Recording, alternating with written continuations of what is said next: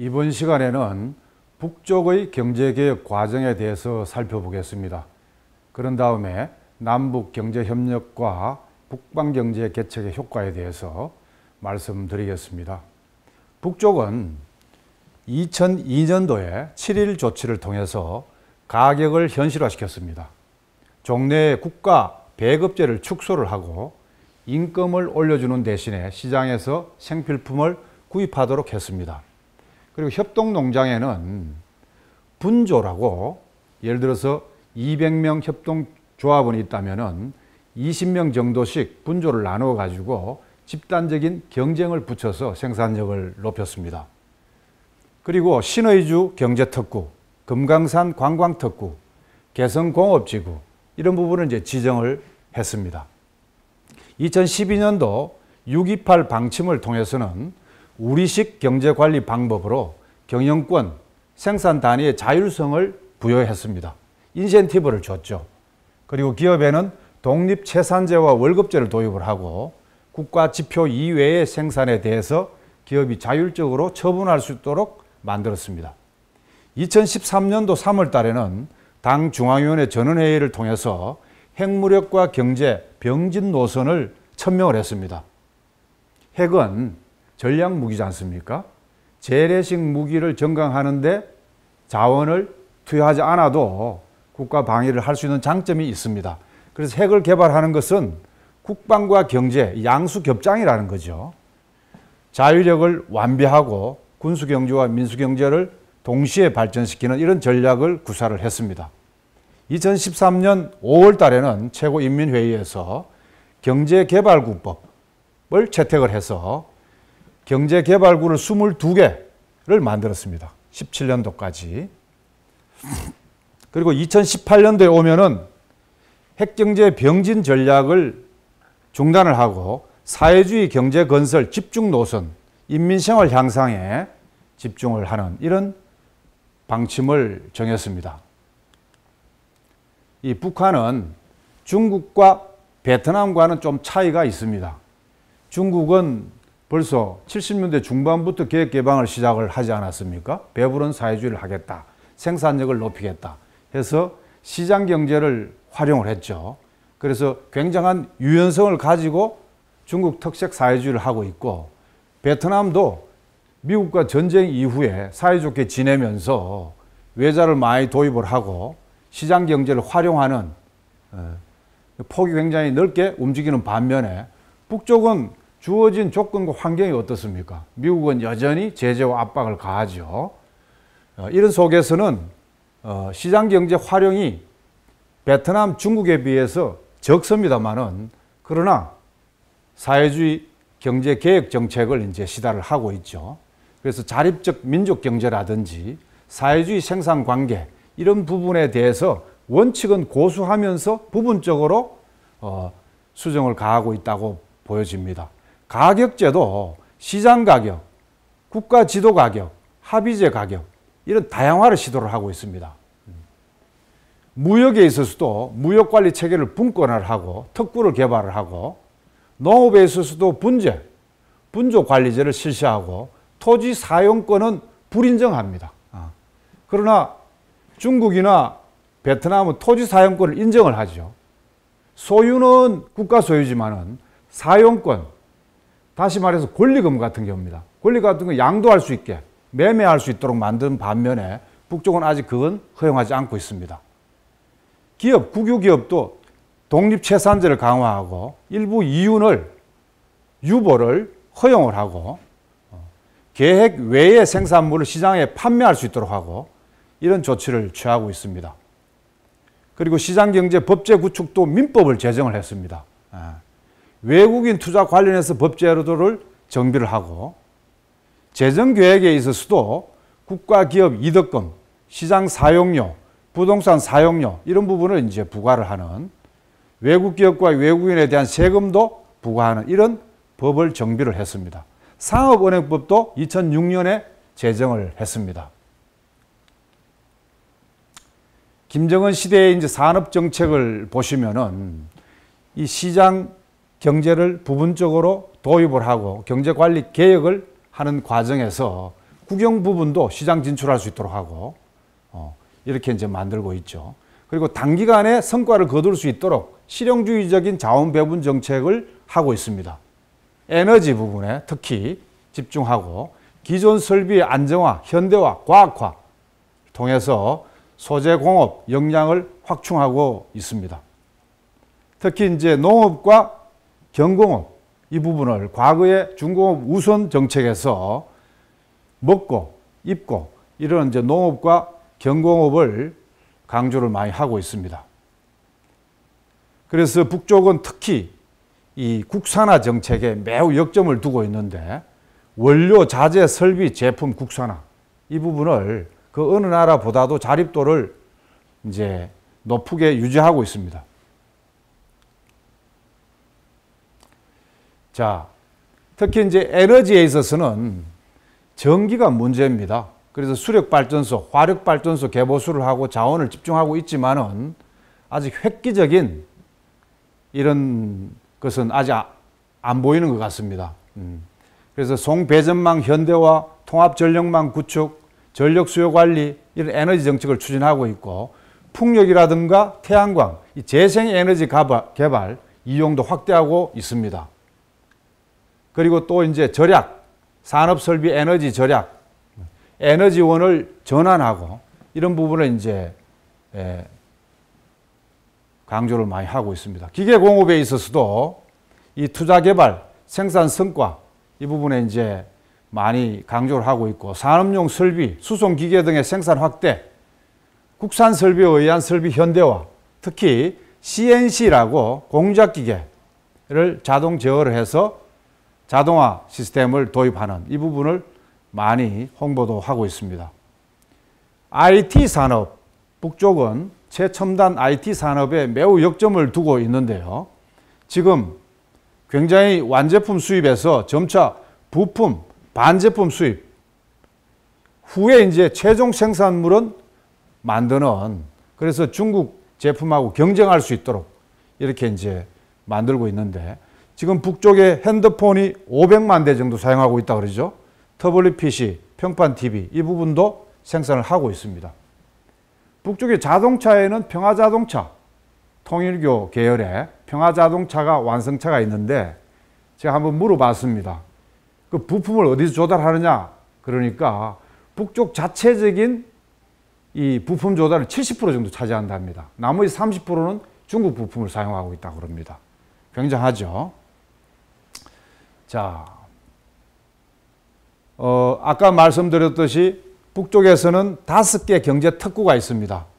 개성공업지구, 원산 금강산 관광특구, 나선 경제무역지대, 신의주 국제경제지대, 황금평 유화도 경제지대 이런 다섯 개의 특구와 22개의 경제개발구를 두고 이 특구와 개발구를 우선적으로 개발을 하고 활성화시켜서 그, 그, 그 이문을 어, 다른 지방으로 확산시키겠다는 이런 전략을 갖고 있습니다. 중국도 그랬죠. 이, 이쪽 서쪽, 서쪽 해안가를 중심으로 해서 먼저 개발을 하고 내륙으로 그 효과가 확산되도록 이렇게 하듯이 북쪽도 어, 특구와 개발구를 집중 육성을 하고 그 성과를 다른 지방으로 확산하려고 노력하고 있습니다. 북쪽은 뭐니 뭐니 해도 지하자원의 보고입니다. 철이 세계 7위입니다. 무연탄이 4위, 희토류, 미래 첨단 산업이라 할 수 있는 배터리, 항공 우주, LCD 디스플레이, 자석 이렇게 만드는 데 들어가는 이 희토류가 중국 다음에 세계 2위를 차지하고 있습니다. 아연은 세계 4위, 마그네사이트, 마그네사이트는 군수 무기, 항공 우주, 첨단 전자장비, 미래 자동차 산업에 들어가는 데 없어서는 안 되는 이 마그네사이트가 세계 3위나 차지하고 있습니다. 흑연은 세계 5위, 텅스텐 세계 5위, 검 세계 8위, 금이 세계 8위입니다. 음. 자, 이렇게 지하 자원이 많이 묻혀 있는데 우리 남쪽은 비싼 외화를 낭비하면서 거의 90%를 광물을 지하 자원을 해외에서 수입하고 있으니 너무나 어처구니 없지 않습니까? 자, 이게 이제 지하자원 산업화 가능한 지역입니다. 이쪽에 해산, 검덕, 대흥, 여는 동, 아연, 마그네사이트 지대이고, 그 다음에 이쪽 북쪽, 무산, 함경북도 북부지방, 석탄, 무연탄, 철이 생산되는 곳이고, 정주, 운산, 히토리와 금이 생산되는 곳이고, 그리고 가물이, 재령, 몰리브덴, 철광이 만들어지는 곳입니다. 생산되는, 묻혀 있는 곳입니다. 자, 그래서 광업, 광물을 남북이 협력을 하면은 남한은 원료 자원을 안정적으로 수급하고 있을 뿐만 아니라 수송 비용이 또 절감돼요. 가깝기 때문에. 남북 철도 도로가 연결되면은 그냥 화차로 실어 오면 됩니다. 거기다가 남한의 비금속 광물, 가공산업일, 지금은 남쪽에서는 사양산업이 되어 있습니다. 시멘트라든지 요업, 도자기, 이 북쪽으로 가져가면 됩니다. 그러면은 거기에 지하자원하고 가까운 그 지대에 비금속 광물 가공 산업을 하면은 남쪽이 아주 좋아지겠죠. 신규로 제철 재련 산업도 그렇습니다. 아, 부지 확보가 쉽고 이 근처에 그래서 원료 공급지 근교에 제철 재련 설비를 구축하는 거죠. 자, 그래서 종합하면은 이 남북 경제 협력의 이 경제적 효과를 한번 살펴보겠습니다. 지금 남쪽 경제는 제조업 경쟁력이 약화되고 있다고 하지 않았습니까? 남북 경제 협력을 하면은 경쟁력이 강화됩니다. 같은 언어에, 문화적 공통성에, 양질의 노동력, 낮은 세금, 토지 수용, 토지 사용료도 적고, 육상을 통해서 가져올 수 있고, 그래서 해외 생산 기지보다 높은 경쟁력을 제공하기 때문에 제조업은 경쟁력이 강화될 수밖에 없다 하는 것입니다. SOC 투자, 국가 기관 산업 수요도 확대됩니다. 경제 협력 수준과 국가 기관 수요가 이제 높아질 거 아닙니까? 여기에 따라서 지금 남북로 이 천연가스관을 연결할 수가 있고 철도를 깔면은 그 옆에 송유관, 가스관, 전력망 이런 것이 다 깔리거든요, 같이. 그래서 시베리아 횡단열차, 횡단철도, 중국 대륙 횡단철도 연결이 바로 되기 때문에 경의선은 이 TCR로 연결되고 경원선, 동해선을 따라서는 TSR로 이제 연결이 되어서 동북아 협력의 발판을 구축할 수가 있습니다. 그래서 북쪽에 산업단지 6개만 건설하면은 남쪽 경제에 86조 원에 이르는 막대한 생산 유발 효과를 거둔다고 합니다. 거기다가 자원을 자주할 수 있습니다. 우리가 해외 에너지 의존도가 95%라 그러지 않습니까? 그런데 북쪽에 지하자원뿐만 아니라 시베리아의 천연가스 그리고 중국 러시아의 원유 이런 부분을 가까운 거리에서 가져오면은 자원 자주화에 큰 어, 이득을 가져올 수가 있습니다. 광산물 수입 물량의 10%만 북쪽에서 조달한다고 하면은 남쪽은 연간 17억 달러 이상의 수입 비용이 수입해서 드는 비용을 절감할 수가 있다 그럽니다. 자원을 북쪽 산업 개발 자금으로 활용하는 거죠. 우리가 대북 투자를 하고 그 다음에 지하 자원을 가져오고 어, 이렇게 이제 하는 시스템으로 가면 될 것 같습니다. 그리고 동북아 물류 환경을 개선할 수가 있습니다. 육상, 해상, 항공 물류를 연결해서 물류 거점 국가로 도약할 수가 있습니다. 우리 남쪽은 특히 부산, 포항 이쪽 목포 일대에는 전부 다 물류 기지가 되겠죠. 그 다음에 관광입니다. 관광이야말로 가성비가 가장 높다 그러지 않습니까? 10억을 투자하면은 23명의 고용 창출 효과를 가져온다 그럽니다. 다른 산업은 평균 10억을 투자하면 13명 일자리를 만드는데 관광은 두 배나 일자리 창출을 더 많이 하게 됩니다. 자, 그래서 지금 GDP 대비 관광산업 비중이 2009년도 기준으로 2.3%밖에 안 됩니다. OECD 29개국 중에 26위를 차지합니다. 아름다운 금수강산 관광 재원이 너무나 많은데도 불구하고 휴전선이 가로막히고 한미 합동 군사 연습에다가 북쪽의 대응 이런 걸 통해서 갈수록 이 대결 긴장 이것 때문에 관광 관광 개발이 안 되는 겁니다. 그래서 우리가 아마 남북이 협력하면은 OECD 국가 중에 지금 26인데 단연 10위 안에 5위 안에까지 들 수가 있을 것입니다. 이 그림은 문재인 대통령이 판문점에서 김정은 국, 국무위원장한테 USB에 담아서 전달해 준 남북 경제 협력의 효과입니다. 일곱 가지만 뽑아가지고 남과 북의 경제 성장에 어떤 효과를 가져오는가 하는 것을 데이터를 만들어서 전달했습니다. 자, 보십시오. 금강산 재개를 하면, 관광을 재개하면은 북쪽은 21조, 남쪽은 17조, 개성공단은 210조, 북쪽이, 남쪽이 160조, 경수를 시작하면은 북쪽이 28조, 남쪽이 29조, 남북 철도 도로를 연결하면은 북쪽이 94조, 남쪽이 92조. 이와 같이 한강 하구 공동 이용하고 조선 협력 단지 원산과 동해를 연결해서 협력 단지를 하면은 그리고 단천 지역에 지하 자원을 개발하면은 이 일곱 가지만 뽑으면은 남과 북의 경제 성장이 누적 성장이 굉장하다는 것을 보여주는 데이터입니다. 자, 이를 위해서는 대동맹을 연결해야 되지 않겠습니까? 평화협력, 남북 경제협력에 기초한 북방경제를 개척하는 데 있어서는 대동맥을 연결해야 됩니다. 민족의 혈맥을 연결해야 됩니다. 그게 바로 철도와 도로 연결입니다. 북쪽은요, 북쪽의 운송 의존을 철도에 86% 하고 있습니다. 도로에는 12%, 해운에는 2%밖에 안 되거든요. 철도 도로 이용률이 굉장히 나, 낮습니다. 자, 그리고 앞, 그래서 북쪽에 이 도로 철도를 까는데 천문학적인 수요가 발생을 합니다.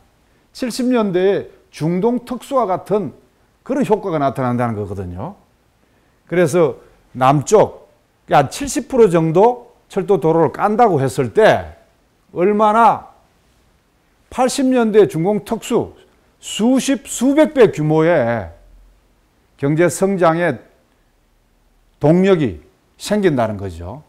신의주 평양 개성 고속철도 깔아야죠. 이게 376km입니다. 여기에 240억 달러가 들어간답니다. 240억 달러. 중국이 제한하고 있습니다. 신의주 평양 이쪽 고속철을 깔아주겠다. 그걸 일부러 김정은 국무위원장이 지연을 시키고 있어요. 왜? 남북 철도가 연결되면은 남쪽하고 합작하는 것이 낫잖아요.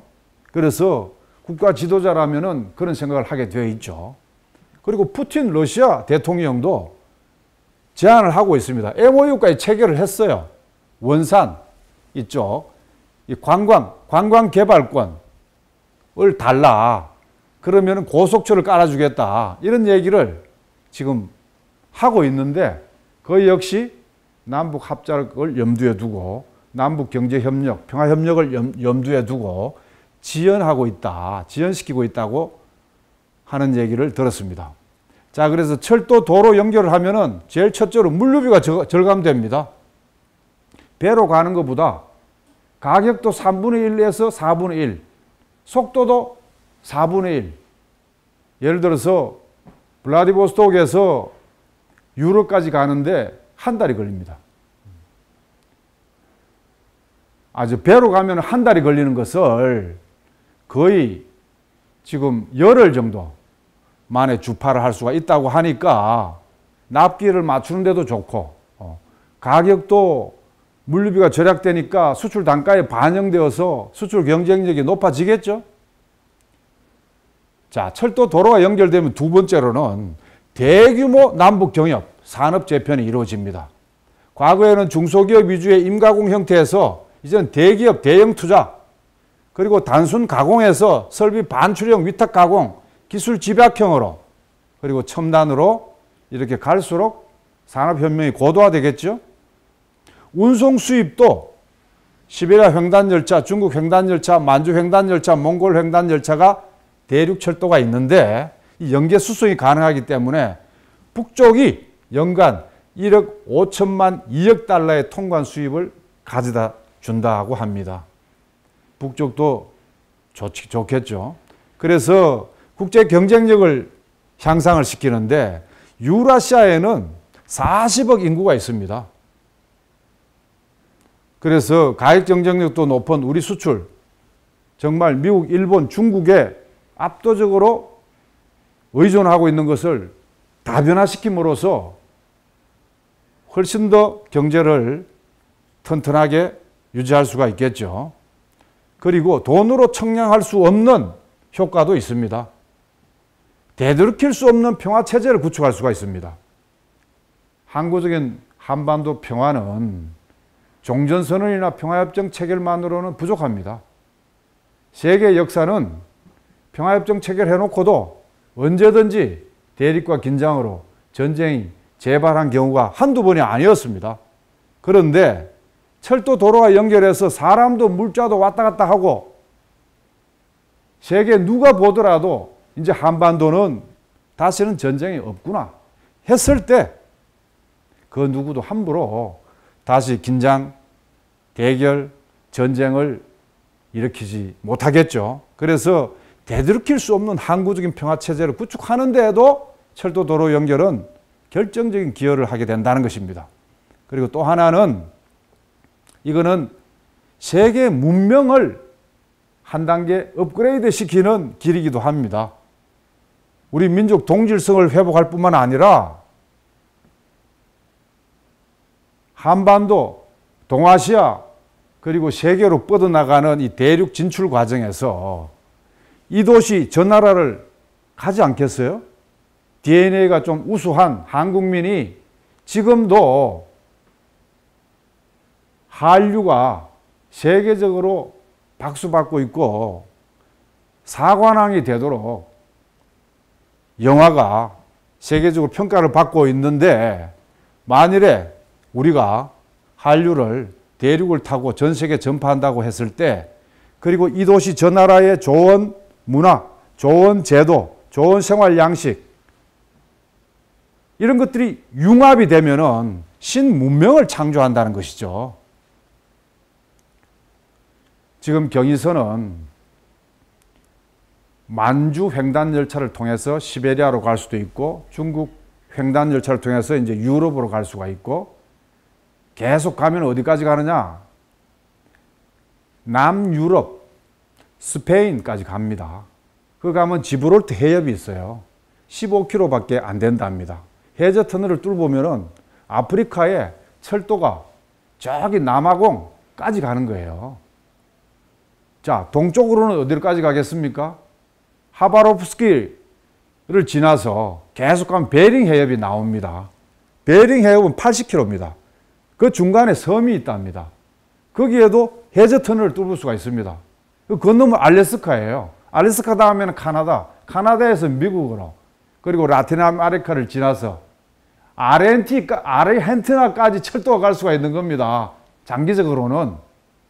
물론 그게 최산성이 맞아야 되겠죠. 음. 그러나 지금 온난화 과정에서 북극해도, 북극해도 쉐빙호가 다니면서 얼음을 깨고 물건을 나른다 그럽니다. 그런 걸 보면은 베링 해협에 해저 터널을 못 뚫을 이유가 없죠. 예. 자, 이런 전망을 가지는 세계 하트 모양의 전 세계를 연결하는 이런 심장이 어디냐, 어디서 출발하느냐, 한반도에 출발하는 겁니다. 한반도에서. 그래서 이 중요성을 알고 일본은 끊임없이 한국에다가 대한해협의 해저 터널을 뚫자고 그럽니다. 아.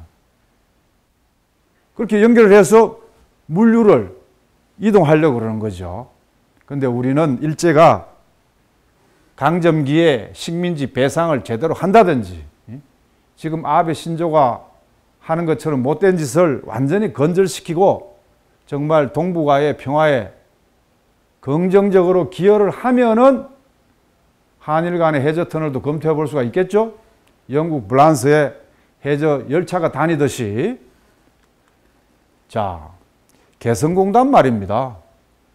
2012년도 가동될 때 개성공단에 어떤 효과가 있었냐 하면은 애초에 2000년 김대중 대통령과 김정일 국방위원장이 6.15 공동선언 이후에 개성공단에 합의를 할 때 2천만 평을 부지를 조성을 했습니다. 그 군부대도 뒤로 물리고 굉장히 어려운 결단을 했다는 거잖아요. 그리고 북청 노동자 임금도 60달러부터 시작합시다. 굉장히 파격적으로 제안을 해가지고 개성공단에 들어간 기업체 마지막까지 124개가 있었는데 이 업체들 3년 만에 빌딩 올라갔다는 거예요. 거짓말이 아닙니다. 그래서 북청 노동자 고용 5만 3천 명을 했고 남측 유발 고용 효과 협력업체들이 납품하는 그 노동자들 1만 2천 명의 고용 창출 효과가 있었다는 거죠. 이게 이제 그 당시에 개성공단 유지될 때 북청 노동자, 남청 노동자 현황입니다. 직접 들어간 사람은 820명이었지만은 이 124개의 납품하는 남쪽에 있는 협력업체 노동자들 까지 하면은 12,000명의 고용 창출을 했다는 것이죠. 자, 그래서 한 비교를 해봤어요.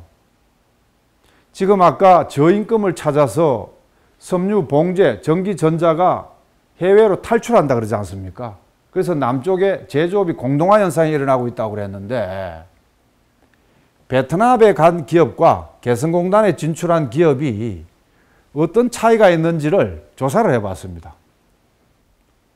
자산 총액은 베트남이 582억 자산 총액 했는데 매출액 709억 원, 당기 순이익은 46억 원 나왔는데 개성공단은 자산 총액은 776조 원, 조금 더 많죠.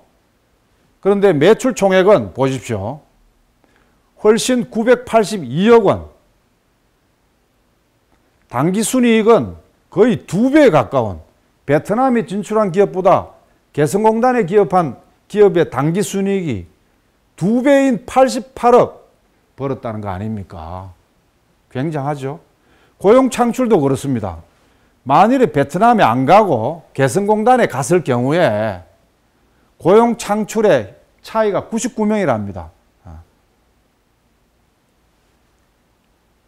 자, 여기, 여기에 나오, 나옵니다. 현지 기업의 투자 금액이 2015년 현재 개성에는 78억, 베트남에는 199억, 한 3배 가까이 투자를 했습니다. 현지 고용, 개성공단은 2,876억, 6명, 베트남은 5천 명을 고용했죠. 단기 순이익을 보십시오. 개성은 적은 투자를 했는데도 단기 순이익이 65억입니다. 베트남 13억밖에 안 돼요. 어. 자, 그래서 베트남에 진출한 기업과 개성공단에 진출한 기업의 남적, 남측 고용 효과에 있어서도 압도적으로 개성공단에 진출하면은 훨씬 더 낫다 하는 것을 보여주고 있습니다.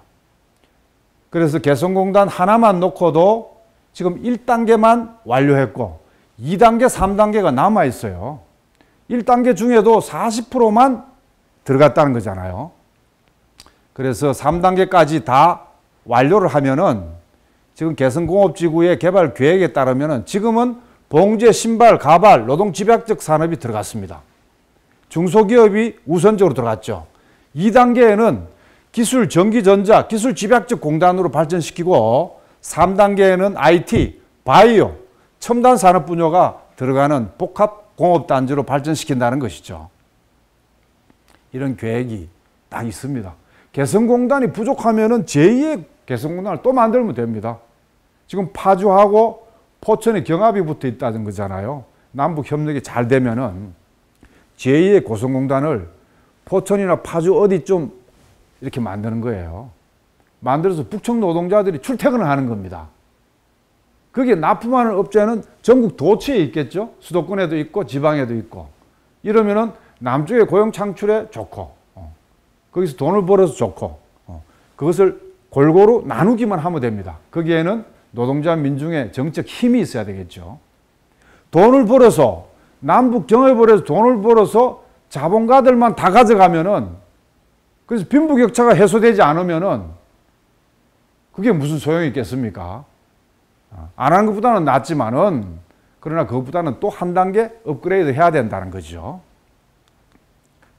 자, 대기업, 공기업이 만일 북으로 가면은 어떻게 될 것인가?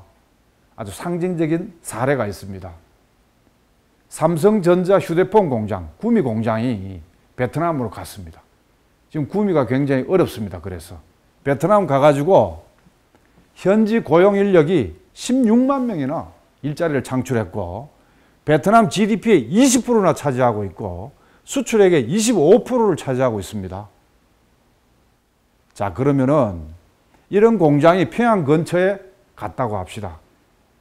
그러면 그 완성업체는 휴대폰 공장 완성업체는 북한에 있습니다.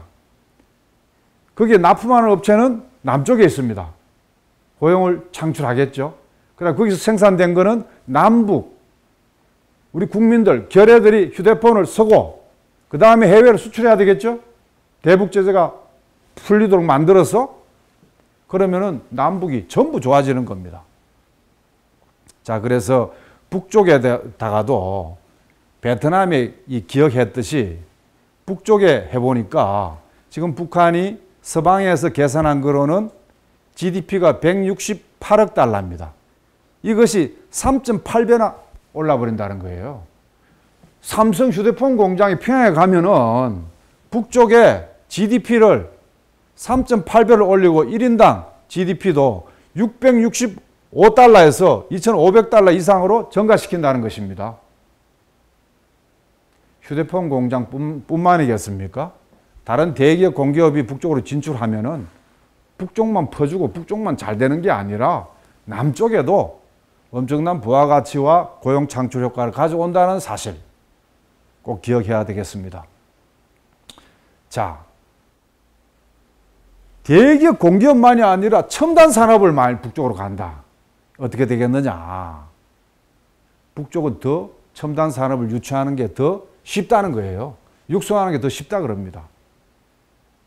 북쪽은 첨단 산업 굉장히 역점을 두고 있습니다. 효용 가치가 높고 기존 인프라 해체 없이 신기술 적용이 가능하다는 것이고 그리고 신속하고 효율적으로 정책 추진이 가능하다 그럽니다. 북쪽이 아주 특유하지 않습니까? 정치 경제 시스템이 토지 수용이라든지 예? 건설 비용이라든지 이 사유재산제가 되는 이, 이 자본주의가 아니고 사회주의이기 때문에 예, 탁탁 신속하게 이제 처리를 한다는 거죠. 그래서 황해도 하고 경기도 하고 지방자치단체 간의 남북 협력이 진행되는 아이템 중에 스마트 팜이라는 것을 합의를 했습니다. 최첨단 기술 장비로 해가지고 비닐하우스를 운영하는 거예요. 그래서 농식품을 거기서 제작을 하는 겁니다. 그래서 먹는 문제를 해결하겠다. 자동적으로 물이 뿌려지고 햇볕을 쪼이고 이러면은 채소라든지 이런 것들이 굉장히 많이 양질적으로 생산된다는 것인데 이런 부분은 북쪽에 설비만 또 투자해보면 그 가동하는 기술은 다 있다는 거죠. 그런데 지금 경기도가 이 제북 대제 때문에 남북, 북미 간의 이 정체 상태 때문에 합의하고도 지금 이행하지 못하고 있습니다. 자, 자 이런 아주 좋은 엄청난 효과가 있고 자 이를 위해서 우리 산업 협력을 이제 점차 고도화를 해 나가야 될 텐데 지금 남쪽도 전략을 이렇게 짜고 있습니다. 지금은 노동 집약적인 산업 협력이다. 고용 창출에 기여할 것이다. 그러나 앞으로는 중화학공업 분업 구조를 해서 주력 산업의 육성에 기여하고 기술 집약적인 산업 협력으로 발전시켜 나가자.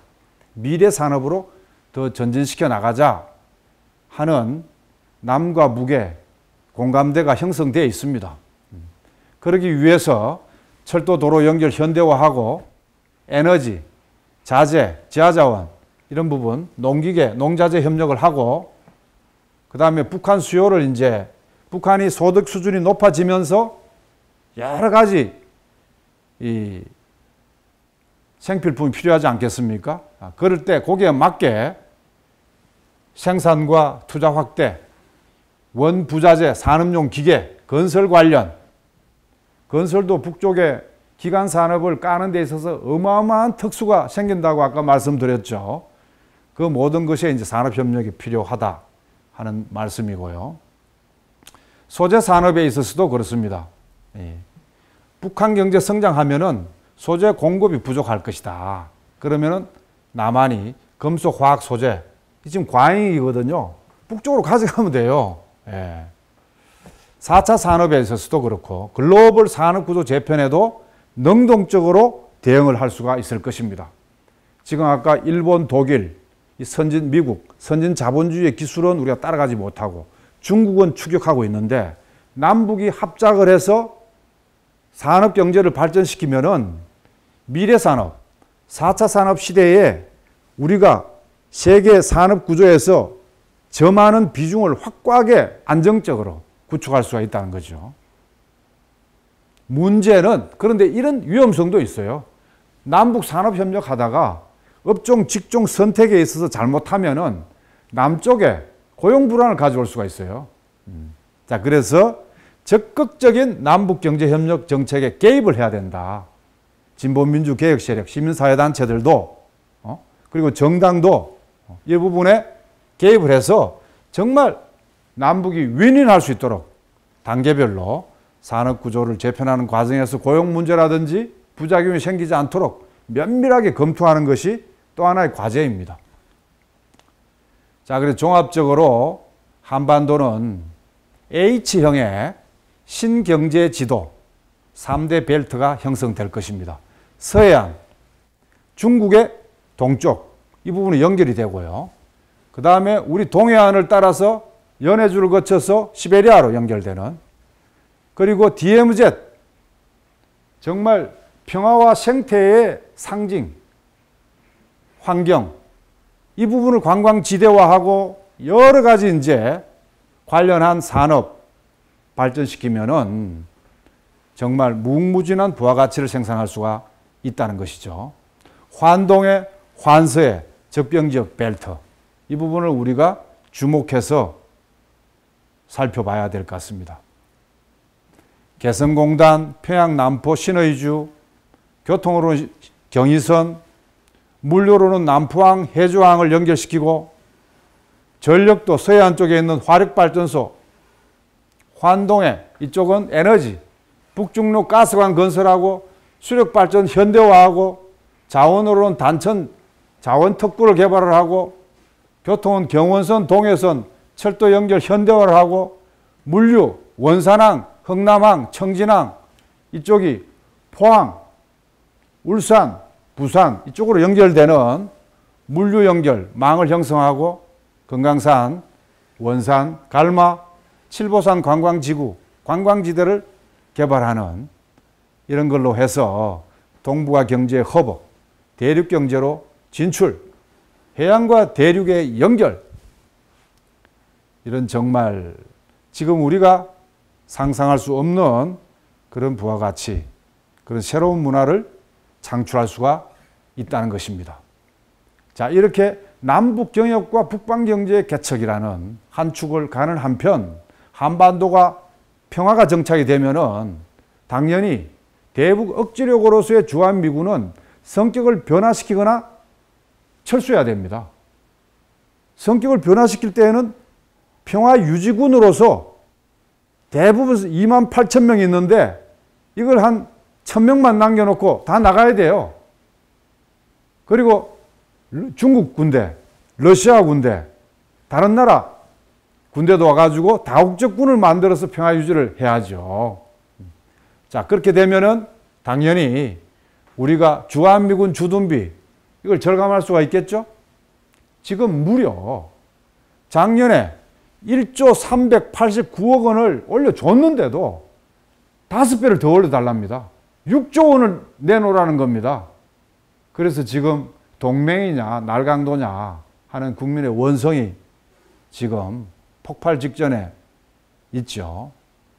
지금 곧 또 방위비 협상을 한다 그러는데 이 주한미군 주둔비는 지금 우리가 준 돈도 다 쓰지 않고 은행에 넣어놓고 이자 타먹고 있답니다.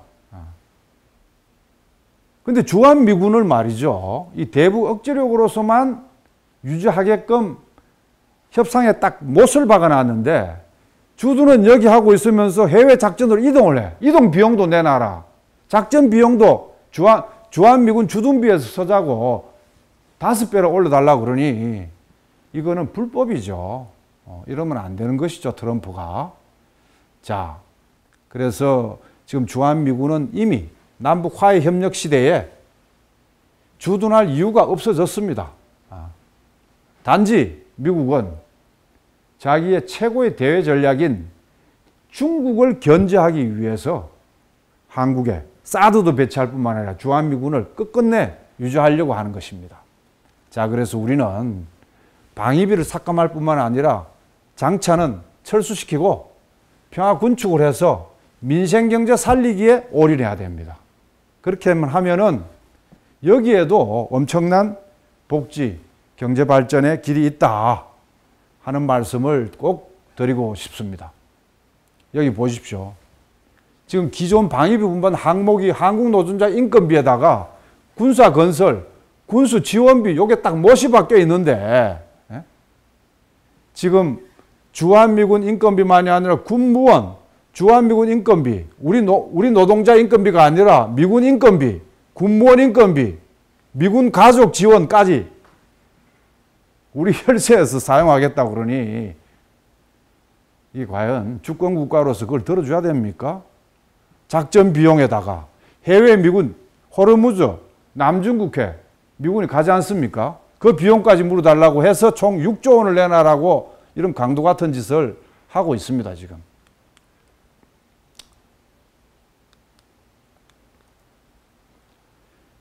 뿐만 아니라 값비싼 미국의 최첨단 무기를 도입하는데 어마어마한 돈을 쏟아부어야 될 상황입니다. F-35 40대 구입을 해서 30년간 유지하는 비용이면 은 우리 노인들 93만 명에게 매월 10만 원씩 30년간 추가로 지급할 수가 있습니다. 지금 노령연금이 1인당 많으면 25만 원 정도까지 되는데 10만 원씩 주면 35만 원씩 30년간을 줄 수가 있다는 거죠. 글로벌 호크 4대 구입해서 20년간 유지하는 비용이면 전국 지방의료원 34군데의 적자를 90년 이상 메꿀 수가 있습니다. 의료원은요, 일반 사립병원하고 다르지 않습니까? 국고를 통해서 저소득층도 언제든지 아프면 가서 치료받을 수 있도록 하는 공적 기능이 가진, 공적 기능을 가진 병원입니다. 당연히 적자가 나죠. 값비싼 무기 수입하는 돈이면 다 해결된다는 것입니다, 지금. 자, 그래서 남북이 화해 협력하고 한반도 평화가 정착이 되면은 이제 통일로 나가야 됩니다. 이미 2000년 6.15 공동선언에 남쪽의 연합제와 북쪽의 낮은 단계의 연방제가 공통성이 있다고 하고 거기에 기초해서 통일하자. 이렇게 통일 방안까지 포괄적으로 합의를 봤습니다. 자, 그렇게 했을 때 지금도 미국의 제재나 압박이 없이 싱가포르 회담에서 결정된 내용, 그 다음에 판문점 선언, 9월 평양 공동선언에 합의된 이 내용이 이행이 되면은, 이행이 됐더라면은, 원래부터 아주 낮은 단계에 연합제가 시작된다고 했을 때 10년 만에 남과 북의 GDP, 엄청나게 올라간다는 것을 딴 사람도 아니고 딴 기관도 아니고 세계적인 유명한 투자기관인 골드만 삭스가 전문적으로 분석을 해서 발표를 했습니다. 지금 우리가 남한의 1인당 GDP가 3만 달러입니다. 3만 달러면은 4인 가족이면은 12만 달러죠. 곱하기 1000 하면은 1억 2천입니다. 1년에 연소득 1억 2천이에요. 지금도. 그런데 우리가 화해 협력하고 평화 협력을 하면은 4만 달러가 된답니다. 4만 달러부터 시작해서 통일된 다음에 10년 만에는 5만 4천 달러, 20년 만에는 7만 4천, 30년 만에는 9만 6천 달러가 된다고 합니다. 9만 1인당 GDP 9만 6천 달러, 9만 달러만 잡고 4인 가족 해보십시오. 4구 36. 36만 3억 6천에 3억 6천 한 집에 한 집에 3억 6천이면은 좀 설만하겠죠? 내수 구매력이 좀 높아지겠죠? 그러면은 소득주도 경제 성장이 하기 싫어도 하게 되어 있습니다. 남쪽이 5천만, 북쪽이 2,500만입니다. 7,500이에요. 그리고 열차 타고 연변으로 가면은 그게 또 동포들이 있습니다. 자, 이 모든 것이 내수를 활성화시키는 원동력이 되겠죠.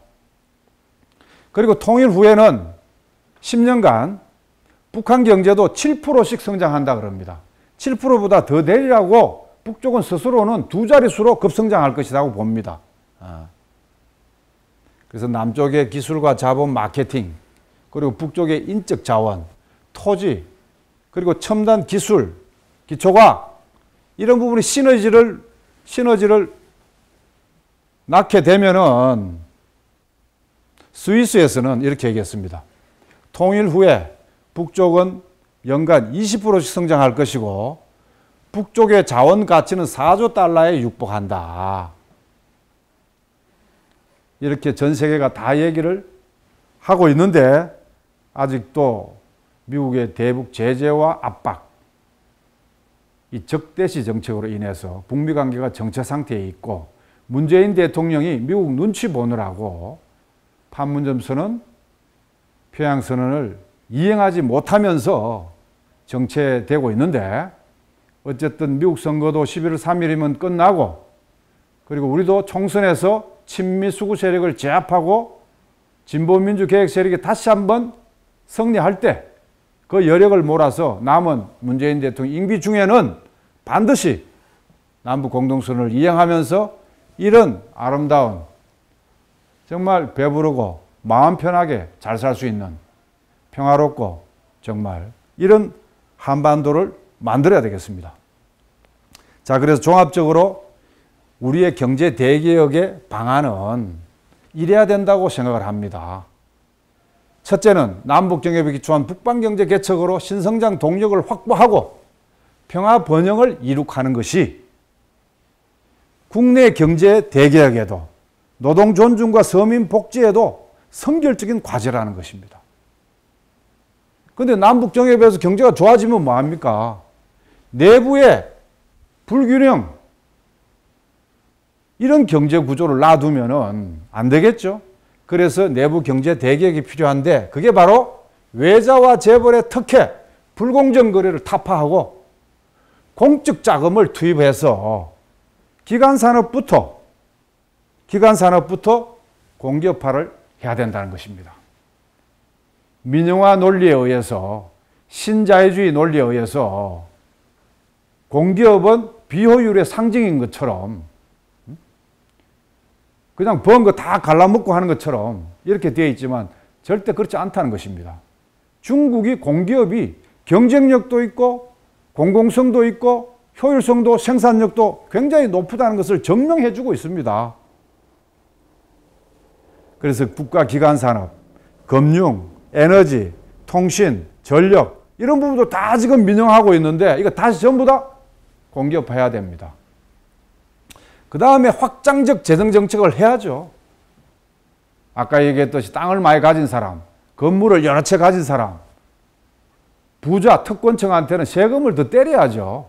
그 돈을 가지고 재정 지출을 어디다가 일자리 창출에 사회 안전망 구축에 비정규직 정규직 하는데 돈을 써야죠. 그리고 또 하나 있습니다. 4차 산업혁명 시대입니다. 이 세 가지만 해가지고는 안 되고 이제는 생산력이 굉장히 과학기술 발전에 따라서 높아집니다. 이제 웬간한 것은 기계가 기술이 컴퓨터가 로봇가 하는 시대를 맞이하고 있습니다. 이럴 때 기업이 재벌 중심, 외자 중심이고 하면은 그들은 이윤 추구를 목적으로 하지 않습니까? 그래서 노동자들을 방출할 거란 말이죠. 그러면 대량 실업이 생깁니다. 그렇기 때문에 그 성과를 이해 당사자들이 다 재분배하기 위해서라도 특히 기관 산업부터 중요 산업은 공기업해야 된다. 국민기업으로 만들어야 된다는 거죠. 그 국민기업, 공기업을 정부 파견 전문인 경영인, 노동자 대표, 국민의 대표 이렇게 해서 관리를 하고 또 자기 기업이고 국민의 기업, 노동자의 기업이니까 열심히 일해야죠. 불량 나지 않게. 또 열심히 팔아야죠. 마케팅 전략 잘 구사해야죠. 공기업이라 그래가지고 주인 없는 기업이니까 번거 갈라먹고 일도 농땡이 까고 이래가지고는 노동자가 주인된 기업, 직장, 나라를 만들 수가 없겠죠. 자, 그래서 우리 정신도 똑바로 써야 된다는 겁니다. 이런 정책, 경제 대개혁하고 평화협력하고 이렇게 정책을 구사해서 좋게 만들면 뭐합니까? 우리 국민들이 정말 내가 주인이다. 주인의식을 가지고 7,500만 결의 전부가 잘 사도록 열심히 일해야죠. 북쪽도 그렇지 않습니까? 기업, 연합기업소의 사업조마다 경쟁을 집단적으로 붙이고 협동농장에도 분조를 나누고 분조를 더 세분화해가지고 포전 담당자라고 농과 밭의 일정한 면적을 한두 가구 규모로 쪼개가지고 집단적인 경쟁을 붙인다 그러잖아요. 아, 사회주의고 집단주의를 그렇게 강조하면서도 아직도 아직도 높은 국민의식을 가지고 누가 보든 안 보든 열심히 일하고 어? 내가 열심히 일해야 전체 인민이 잘 산다 이렇게 생각하는 게 아니라 농땡이 까는 사람이 있으니까 경쟁을 붙여 생산력을 높이지 않습니까? 그렇듯이 우리는 자본주의에서 70년간 살았습니다. 일제 때까지 포함하면 훨씬 더 오랜 세월을 개인주의, 이기주의 사상 문화 속에서 생존을 위해서 처절하게 경쟁하는 그러다 보니까 약삭 빠르고 농땡이 까고 슬슬 일해도 많이 얻으려고 하고 이래 왔는데 이제 만일에 경제 대격을 하고 평화 번영으로 간다.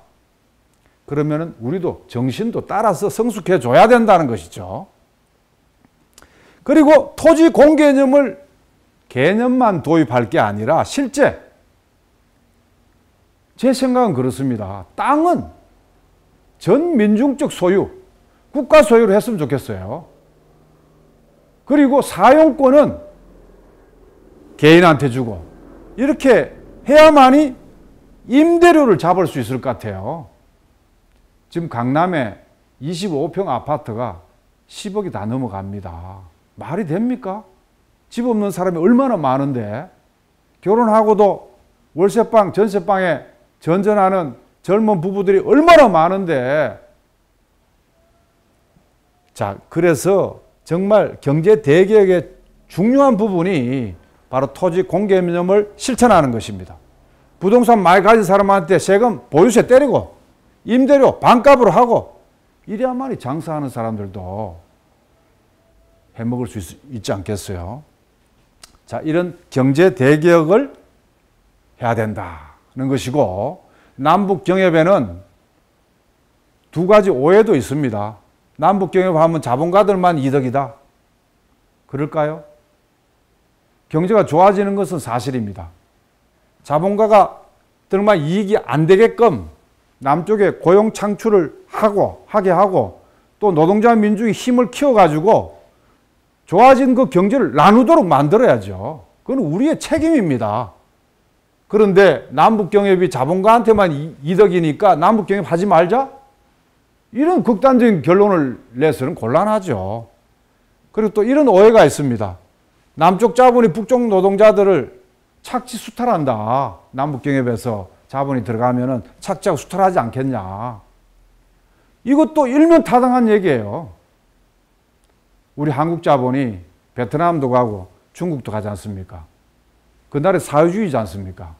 자칫하면은 착취 수탈 억압할 수가 있습니다. 그러나 그 나라에는 노동법이 있습니다. 사회주의 나라예요. 그냥 쉽게 마음대로 하도록 놔두지를 않습니다.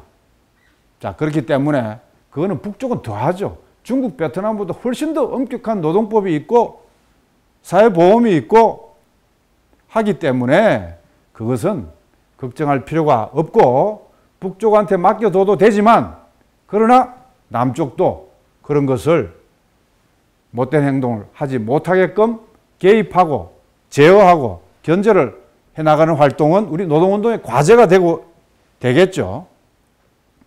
자, 그래서 노동운동이 평화협력, 경제개혁에 앞장서고 그것이 노동 존중으로 귀결되도록 선순환하도록 이렇게 만들기 위해서 우리 노동자들이 자기 기업의 임금 인상, 근로조건 유지 개선이라는 이런 좁은 밥그릇 여기에만 신경 쓰지 말고 시야를 넓혀서 큰 먹거리, 큰 일자리 이걸 바라볼 수 있도록 토론하고 공부하고 실천해야 된다는 말씀을 드리고 싶습니다. 그래서 현재는 외화를 낭비해서 에너지 원료를 수입한다면은 북쪽의 지하자원, 시베리아 천연가스, 중국, 러시아의 원유를 가져오고 지금은 수출 위주의 특히 중국, 미국, 일본 편중 현상이 있다면은 이제는 남북 7,500만의 내수가 있을 뿐만 아니라 유라시아 40억 수출 시장이 있다는 점. 그리고 미국, 일본의 특허 기술에 전적으로 70%씩 의존하고 있다고 했다면은 남쪽의 응용과학과 북쪽의 기초과학이 융합을 해서 기술 자립도를 훨씬 높이고 4차 산업 시대에도 능동적으로 대응할 수가 있다는 점. 자본 구성에 있어서도 재벌 외자 중심의 이 남쪽 자본을 연기금을 포함한 이 공적 자금 활용해서 정말 자본 구성을 다변화시키고 전 민중적인 소유로 더 발전시키는 이런 토대를 마련할 수가 있다는 점. 그리고 제조업이 해외에 다 이전하고 국내는 공동화 현상 때문에 대량 실업을 야기하고 있다는 있다면은 앞으로는 제1, 2 개성공단 뿐만 아니라 남북 어디든 남북 합작으로 협력업체 고용 창출을 할 수가 있다는 점 그리고 가격 품질에 있어서도 제조업 경쟁력을 강화하고 지금 굉장히 약화된 상태인데 원가 물류비를 절감하고 산업협력으로 제조업 경쟁력을 강화할 수 있다는 점. 지금은 경제 대기업하고 싶어도 외자 재벌의 저항과 사보타지 때문에 경제 개혁이 실패하고 노동자들에 대해서 일방적인 양보를 통해서 어려운 경제 극복하자고 또 바가지 씌우는 이런 현실이라면 은 앞으로는 경제 경협, 남북 경협의 기초에서 북방 경제가 뒷받침되면은 촛불 시민의 힘과 함께 강력하게 외자 재벌을 다스리면서 균형 있고 공정하고 평등한 민주주의 경제 구조를 만들 수가 있다는 것입니다. 그래서 지금은 노동조합도 노동자들도 우선 생존해야 되니까 어? 임단협에만 신경 써요. 어? 그래서 이런 경제주의, 조합주의 그러다 보니까 국민들한테 욕먹습니다. 대기업 중심의 노동운동 아니냐? 대기업 중심의 민주노총이다. 저 새끼들은 어? 연봉 5천 이상 1억씩 받는 노동자들 아니냐? 그런데도 자기 임금 올리기 위해서 파업을 하려고 그런다고 조중동에서 악선전을 하면 꼽다시 욕먹게 되어 있는 이런 것이라면 앞으로는 깨어있는 우리 노동자들 큰 밥그릇, 큰 일자리, 평화협력, 경제대개혁에 우리가 노동자들이 앞장서면은 국민들이 야 역시 멋있다. 노동운동 잘한다. 민주노총 정말 멋있네. 우리 전체가 잘 살도록 하는데 헌신적으로 앞장서는구나. 이런 것이 되어가지고 이제는 정말 일하는 사람들이 존중받을 수 있는 사회, 그런 통일 코리아를 만드는데 노동운동이 큰 역할을 하게 된다는 것입니다. 자, 그래서 다시 강조 드립니다만은 노동자가 평화 협력, 통일에 관심을 가져야 됩니다. 아, 관심을 가져야 됩니다. 큰 밥그릇에 관심을 가져야 됩니다. 그리고 앞으로 남북 노동자 축구 대회를 몇 차례 지금 해왔습니다. 남과 북의 화해 협력, 이 평화 실현 이런 부분에도 지금까지도 큰 기여를 했습니다. 양노총이 한국노총도 열심히 하고 민주노총도 열심히 했습니다. 앞으로는 남북 노동자들이 직종별, 업종별 예를 들어서 평양 지하철 노동자들은 서울 지하철 노동자들을 만나는 거예요. 철도 노조 조합원들은 북쪽에 있는 철도 노동자 만나는 겁니다. 북쪽에는 노동조합이라는 명칭이 아니라 직업 동맹이라고 있습니다. 직업 총동맹으로 전국 조직이 만들어져 있죠. 그 밑에 산업별로도 조직이 있습니다. 그 산업별로 사업장별로도 조직이 있습니다. 그 조직 그런 조직과 남쪽에 있는 업종, 산업, 직종에 있는 조직들이 광범위하게 만나야죠. 만나면 얘기할 것도 많지 않겠어요? 어? 평양 지하철은 어떻게 돌아가냐? 어? 서울 지하철은 어떻게 다니냐? 섬유, 봉제, 학원. 예를 들면은 정교조 선생님들이, 교사들이 북한에 가서 수업을 참관하는 거예요. 북쪽의 교원들을 만나는 겁니다. 남쪽의 초등학생들이 평양에 수학여행 가는 거예요. 서로 왔다 갔다 하는 겁니다. 이런 과정에서 민족 동질성도 회복하고 우리의 장점을 융합하는 이런 계기도 만들자 하는 것입니다. 자, 그래서 정부와 기업의 남북 정협 추진에 노동운동 개입해야 된다. 그렇게 해서 혹시라도 잘못된 직종, 업종 선정으로 우리 고용 불안이 생기지 않도록 해야 되고 또 더 큰 부가가치, 더큰 일자리를 만들 수 있도록 창의적인 제안을 해야죠. 어, 그까지 나가야 된다고 보여집니다. 더 나아가서는 체제와 이념이 다르지만은 노동자 사는 거는 똑같아요. 그래서 북쪽 노동자들은 직장 생활을 어떻게 하는지, 예. 그다음 퇴근 이후에 집에서는 어떻게 지내는지, 예. 서로 좋은 거는 배워야 되지 않겠습니까? 북쪽 노동자가 남쪽 좋은 거는 배우고 어, 남쪽 노동자가 북쪽에 좋은 거는 서로 배워서 요새는 이념의 제도의 경계를 넘어서 좋은 거는 취합하면 됩니다. 아, 과거처럼 사회주의다 자본주의다 해서 획을 쫙 꺼가지고 완전히 다른 게 아니에요. 사회주의도 시장 경제를 활용하고 있습니다. 아, 그리고 자본주의도 정부가 개입해서 노동자 서민의 복지를 정진시키는 이런 정책을 서고 있어요. 그래서 우리 노동자가 앞장서서 평화협력, 경제개혁 실현하고 우리가 구호로 외치는 노동 존중 관련한 최저임금도 지속적으로 높일 수가 있고 비정규직을 정규직화할 수가 있고 그 다음에 대량 실업, 구조조정 이것이 애초에 예방되는 그런 사회를 만드는데 앞장섰으면 좋겠다는 말씀으로 저의 강의를 모두 마치겠습니다. 고맙습니다.